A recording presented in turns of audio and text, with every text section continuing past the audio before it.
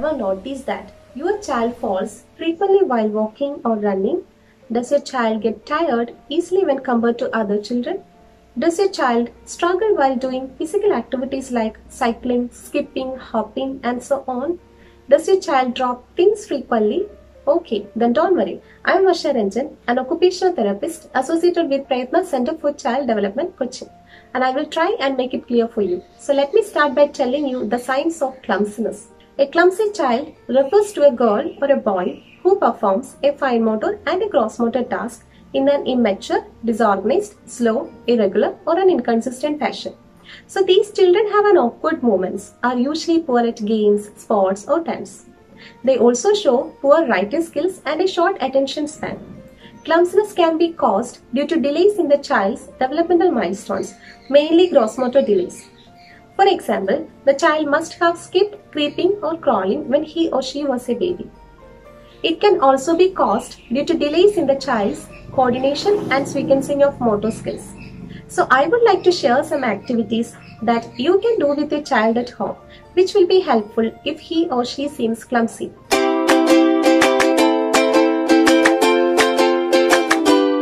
The name suggests, an obstacle course is a series of challenging physical obstacles a child must navigate.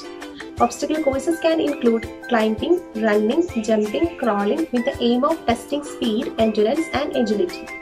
This will keep the child moving and also gives a goal to accomplish. So this activity can be easily performed in the house using furniture like tables, couches, stools, chair and so on. This will create an area for your child to crawl, run, jump on, under and through.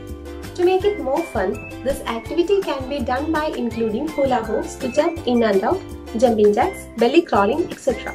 You can be creative and try and make it appropriately challenging for your child without the activity being either too simple or difficult.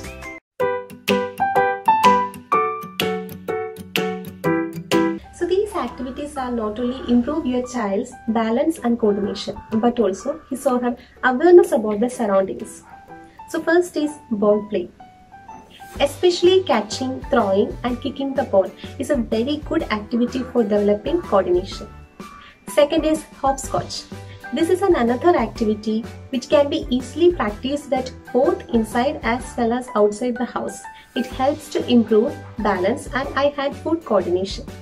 Third is making your child walk on a tightrope. I know you are stunned, but don't worry, it's more of pretend play, where the rope should be placed on the ground and the child pretends to walk on it, as if on a tightrope. Fourth is maintaining kneeling and half kneeling positions. This is an effective way to improve your child's balance, coordination, and trunk control. Make your child do some interesting activities in kneeling and half kneeling positions such as ball or balloon catch and throw, bubble blow and pop, to shoot, and many more. So now, I would like to stress on the following points that you should keep in mind while planning and introducing the activities for your child. Be aware of your child's functional level of performance while setting an expectation for them. Activities should be based on your child's interest. This will help to improve their motivation. Use a multisensory approach while doing an activity which means the activity should include songs, movements, textures, etc. to improve the learning in your child. Grade the activities. If your child shows any difficulty in completing the activity, make it more simpler, which means break down the activities into simpler steps and let your child work on one step at a time. And the last is including family members in the activities. This will help to improve social interaction and bonding between them. So I hope you enjoyed watching this video. If you have any doubts or concerns, kindly contact the Occupational Therapy Department at Prayatna. We are here to help you out. Thank you.